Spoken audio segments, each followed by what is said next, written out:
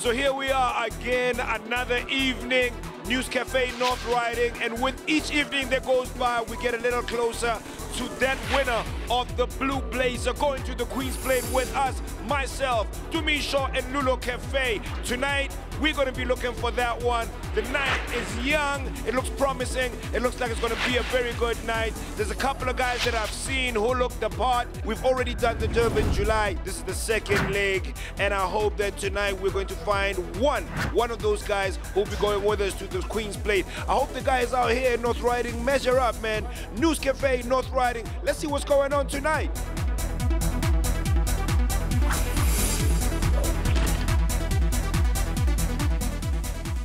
Make some noise for my man Rekes Henry. He wins himself a 2,500 voucher, courtesy of Peroni and Kadushi C Squared. Congratulations, my brother. Congratulations, you get yourself a 2,500 voucher, courtesy of C Squared and Peroni. You've got a very flamboyant dress sense. What informs it?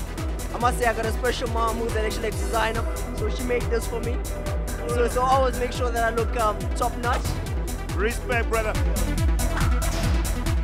There you have it, yet another job well done. News Cafe, North Riding was pretty interesting, interesting characters, but also a couple of guys who I think might stand a very, very good chance of making it to the final, final choice. So let's see what happens next week. Let's see what happens tomorrow. Keep pushing. Dons of style. Peroni, Nastro Azzurro. It is what it is, baby. Good night.